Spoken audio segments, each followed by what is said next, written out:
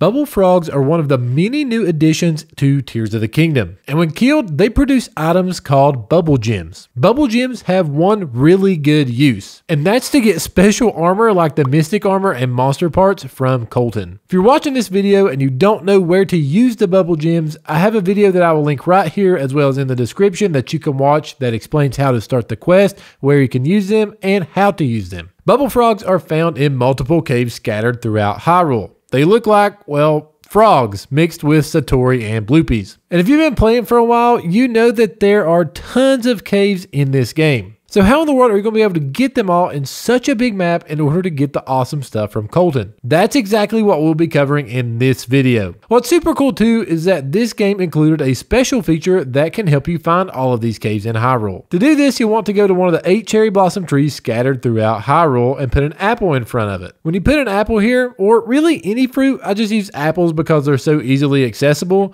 a Satori pops up. This Satori then scans the area for you, allowing you to see many blue pillars every everywhere ascending from the ground to the sky. What these blue pillars do is mark the surrounding caves so that you can see where they are a lot easier, as opposed to just mindlessly stumbling upon them. Note that these blue pillars do not last forever. They last around two to three in-game days. And that's really not long at all. So I recommend if you plan on doing this, setting aside some time just to do this specifically. It's nice that they last that long, but when you're traveling by foot in this game, time flies by so fast, as well as time flying by fast in real life as you play. The first Cherry Blossom Tree location is just south of Hateno Village on Ebon Mountain. The next Cherry Blossom Tree is southwest of Zora's Domain on the Zodobon Highlands. The third one is northeast of Lookout Landing near Orsed Bridge. Number four is northeast of Korok Forest near Darunia Lake. The fifth one is southeast of Lake Hylia, right below the Gucini Plain. Number six is east of the Gerudo Canyon Skyview Tower. It's literally almost right in front of it. The seventh one is southwest of Rito Village on Passer Hill. Number eight is on Satori Mountain, directly west of Sonapan Shrine. One super helpful tip I have is when the Satori shows you the locations, look at your map at the surrounding caves on your map. If you have already discovered a cave, it will will